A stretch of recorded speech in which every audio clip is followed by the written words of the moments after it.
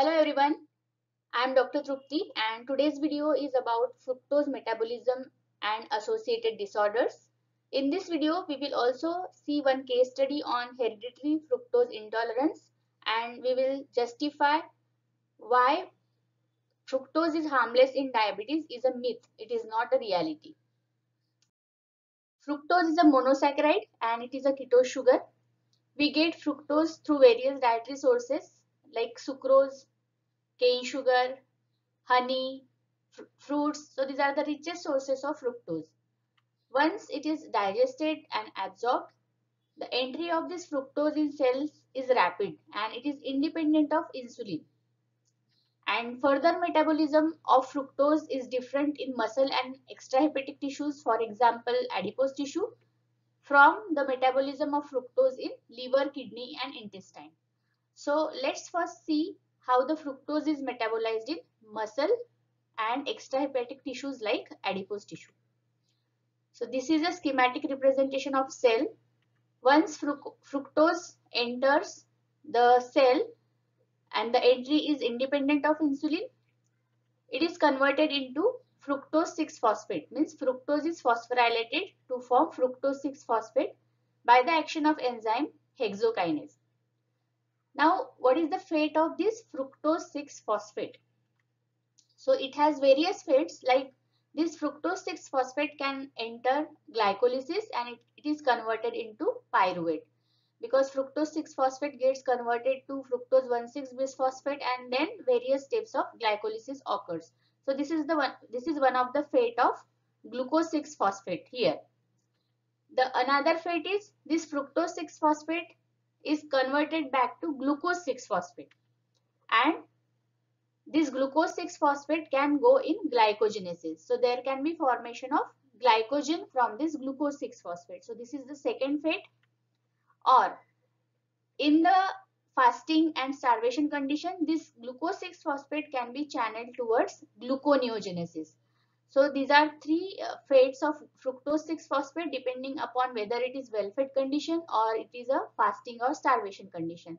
In well-fed condition, this fructose 6-phosphate will uh, will be channeled towards glycolysis and glycogenesis while in fasting and starvation it is channeled towards gluconeogenesis. Now let's see how this fructose is metabolized in liver, kidney and intestine. This is a schematic representation of liver cell. So fructose enters in the liver cell or hepatocytes and it is converted into fructose 1-phosphate by the action of enzyme fructokinase. So fructose is phosphorylated to form fructose 1-phosphate. Here the phosphate group is donated by this ATP and which is this is converted into ADP. Now this fructose 1,6-bisphosphate it is acted upon by the enzyme aldolase B. This aldolase B is different from the aldolase A of glycolysis. So this aldolase B then converts this fructose 1-phosphate into glyceraldehyde and dihydroxyacetone phosphate. So this, these are the two molecules which are formed from uh, fructose 1-phosphate by the action of enzyme aldolase B. Now what happens next? Dihydroxyacetone phosphate can be isomerized to form glyceraldehyde 3-phosphate by the action of enzyme triose phosphate isomerase. And this is the reaction which is similar to glycolysis. This glyceraldehyde can also be converted to glyceraldehyde 3-phosphate by the action of enzyme triokinase. So ultimately in the fructose metabolism here in liver, intestine and kidney there is formation of dihydroxyacetone phosphate as well as glyceraldehyde 3-phosphate. Now let's continue with the further reactions of fructose metabolism. We get this fructose either from honey or uh, fruits which are rich in fructose or from the sucrose. Sucrose is broken down into fructose and glucose by the action of enzyme sucrase. And ultimately we get dihydroxyacetone phosphate and glyceraldehyde 3-phosphate which are intermediates of glycolysis. Now what happens next? By the action of enzyme aldolase A, this dihydroxyacetone phosphate and glyceraldehyde 3-phosphate can be converted into fructose 1,6-bisphosphate. Now the fate of this fructose 1,6-bisphosphate it depends on the metabolic state of body, whether the body is in fasting condition or starvation or it is in the well-fed state. So if it is in the well-fed state, then this fructose 1,6-bisphosphate is channeled towards formation of pyruvate through glycolysis. This glyceraldehyde 3-phosphate also can be channeled through the glycolysis and there is formation of pyruvate. So this is one of the fate of fructose metabolism in well-fed condition that is formation of pyruvate from fructose.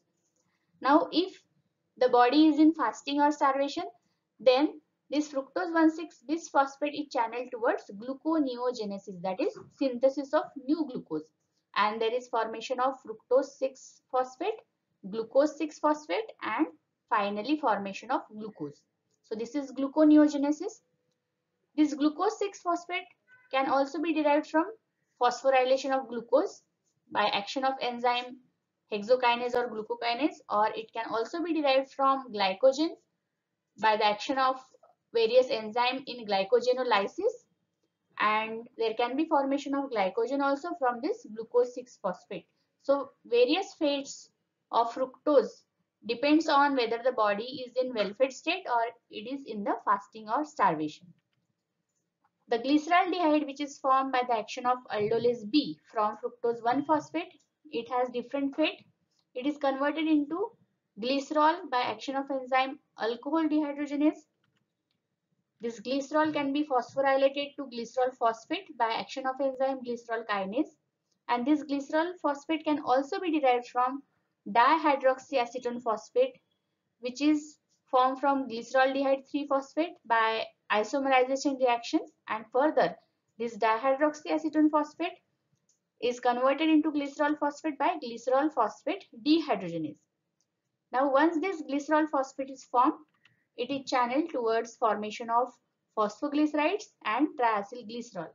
So now we know that in fructose metabolism, fructose can be channeled towards formation of pyruvate through glycolysis and in fasting and starvation there can be formation of glucose through gluconeogenesis there can be formation of glycogen as well in well-fed state and this glycerol phosphate is channeled towards formation of phosphoglycerides and triacylglycerol. Now let's see how this fructose metabolism, the important steps are different from glycolysis. So we know that Fructose is converted into fructose 1-phosphate specifically in liver, intestine and kidney where aldolase B is present. So fructokinase is responsible for phosphorylation of fructose and there is formation of fructose 1-phosphate which is further lysed into glyceraldehyde and dihydroxyacetone phosphate by the action of enzyme aldolase B. So these are the important reactions of fructose metabolism. While in glycolysis, through various reactions, glucose first converted into glucose 6-phosphate, then into fructose 6-phosphate. And this fructose 6-phosphate then by the action of enzyme phosphofructokinase, it is converted into fructose 1,6-bisphosphate. And this phosphofructokinase is the rate limiting enzyme of glycolysis. So formation of fructose 1,6-bisphosphate, it is regulated by this enzyme and this step is important here. And further, this fructose 1,6-bisphosphate is converted into dihydroxyacetone phosphate and glyceraldehyde 3-phosphate. So the enzyme aldolase A, it has three forms. Aldolase A is present in skeletal muscle, aldolase B is present in liver, kidney and intestine and aldolase C is present in brain. Now how these reactions of fructose metabolism are different from glycolysis? So this rate limiting reaction uh, which is catalyzed by phosphofructokinase, it is not present in the fructose metabolism and that's why fructose metabolism is rapid, rapid as compared to glycolysis.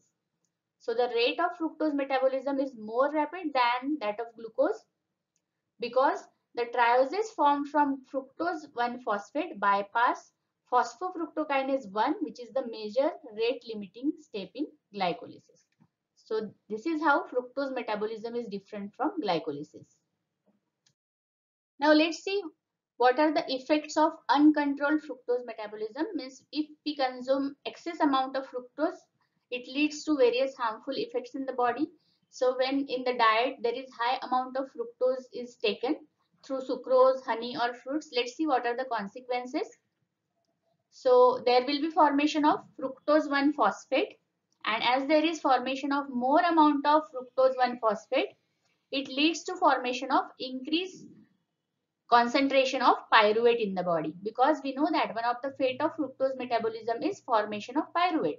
So more fructose meta metabolism, more pyruvate formation, more pyruvate is converted into acetyl CoA so there will be more acetyl CoA pool.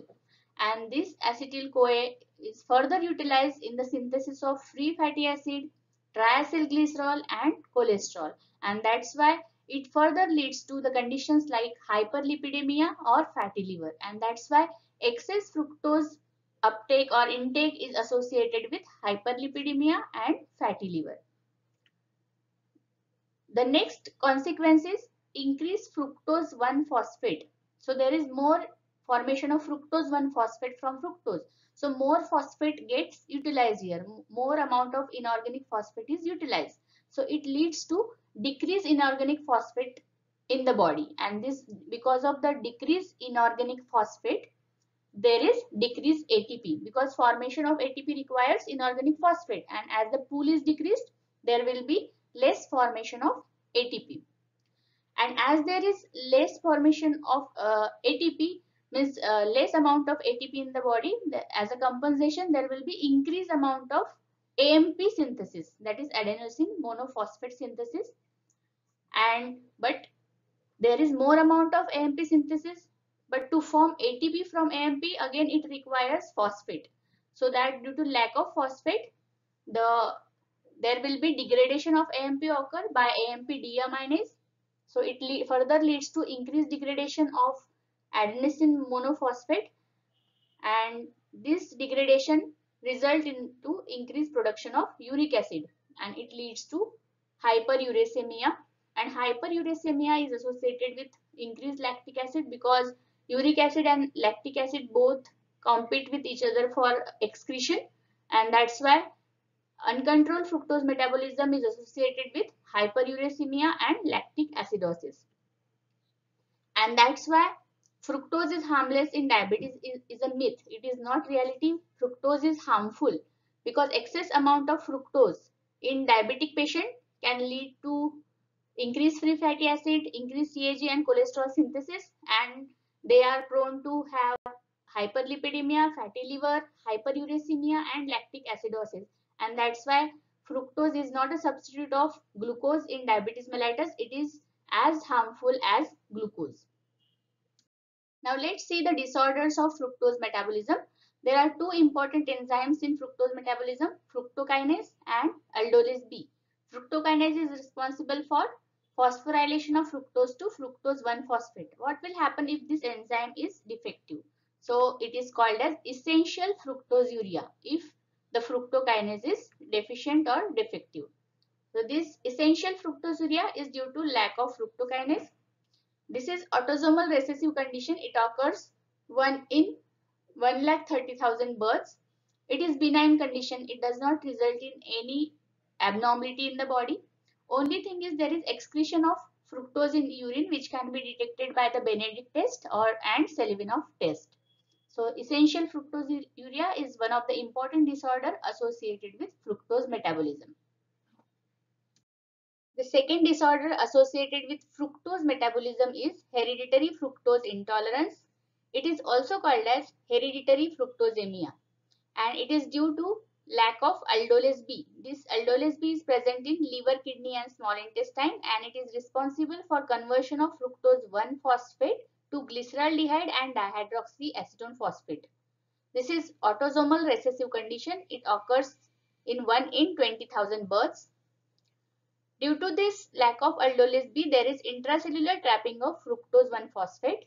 So it leads to increased concentration of fructose 1-phosphate and it is responsible for various clinical features seen in this condition like severe hypoglycemia, vomiting, jaundice, hemorrhage, hepatomegaly, renal dysfunction, hyperuricemia and lactic acidemia. The first symptoms of this condition appear when a baby is weaned from milk and begins to be fed food containing sucrose or fructose. Diagnosis is done by detection of fructose in urine by Benedict as well as Selivanov test and also by DNA based Testing. The treatment is by rapid detection and removal of fructose and sucrose from diet.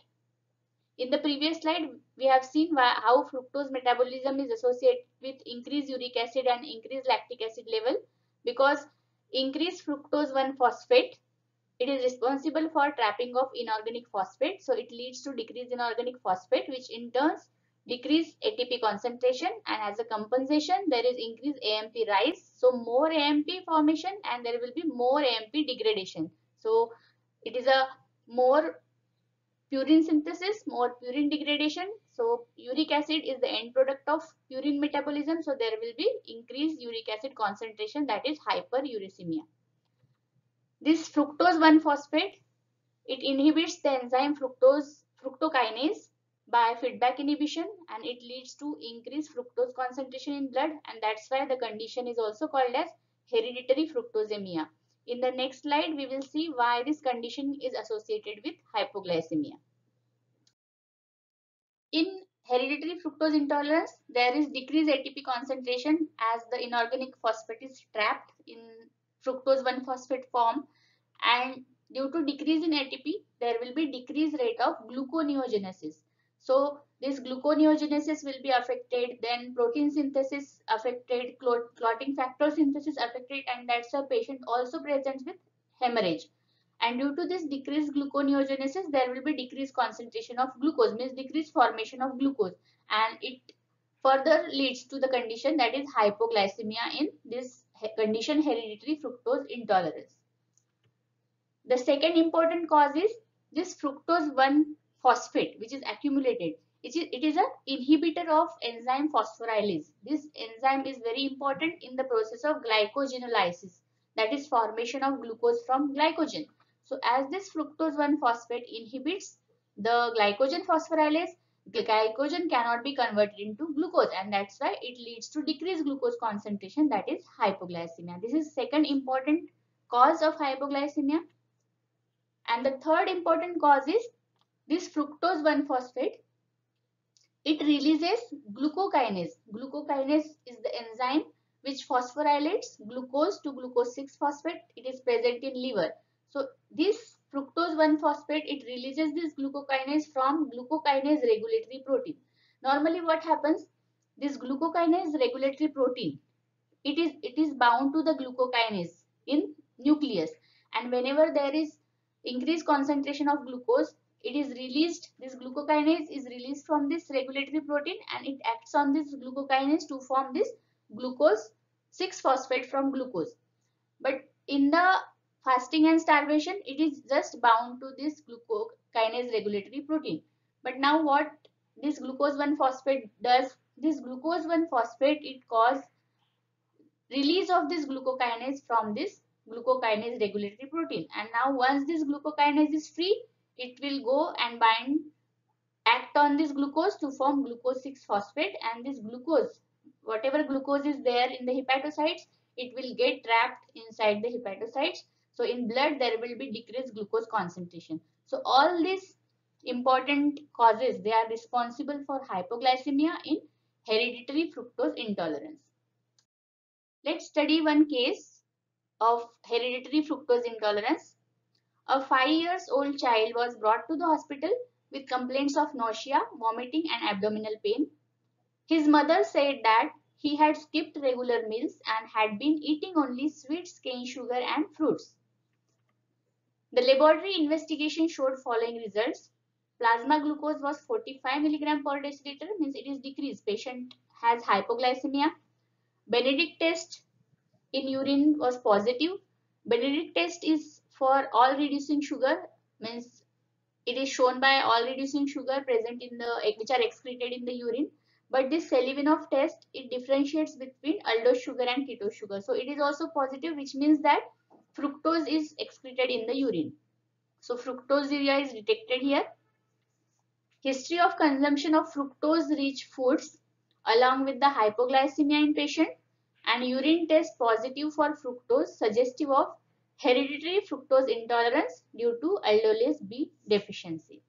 So I hope this video will be useful to you. Thank you for watching.